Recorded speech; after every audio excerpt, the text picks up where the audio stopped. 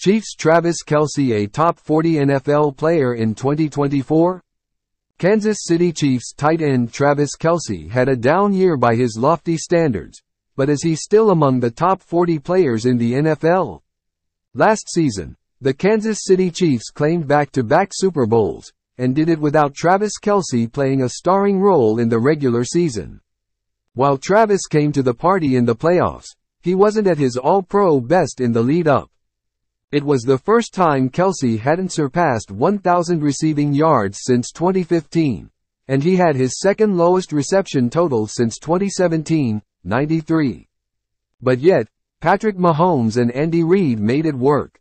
But now, as we look ahead to the new season, after a down year, does Kelce make the top 40 NFL players?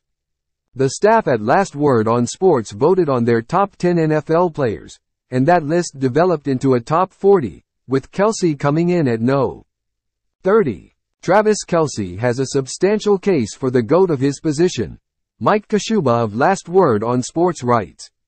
Compared to the other players on this list, his spot is more a testimony to a great career than lofty expectations for 2024. Following a year with the second most yards among tight ends, he's still not over the hump and can keep performing as long as Patrick Mahomes has a psychic connection with him. After a year in which Kelce failed to reach the lofty heights we have come to expect, having him still among the top 40 players in the league still feels right. But surely he will want to be ranked higher next season.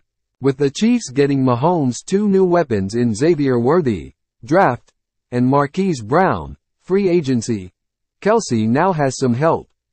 Last season, it was Kelce and rookie Rashee Rice as the Chiefs' two main options, which meant it was easy for defenses to gameplan for.